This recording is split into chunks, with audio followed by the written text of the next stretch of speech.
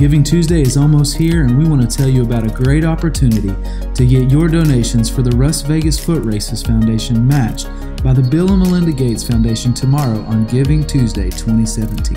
Hopefully, you have a Facebook account because this is how we will take advantage of this opportunity. Here are the steps for creating a fundraiser.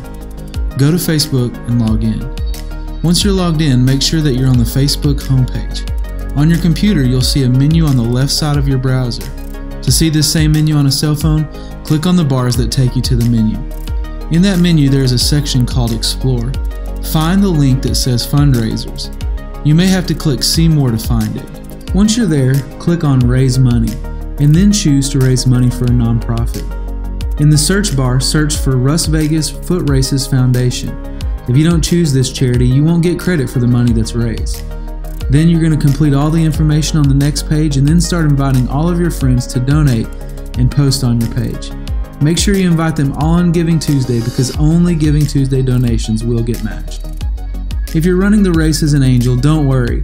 This fundraiser will count towards your Angels goal and incentive prize levels, even though it won't immediately show up on your CrowdRise account. Be sure to check and read your email so that you can learn how we will apply this matching fundraiser to your account.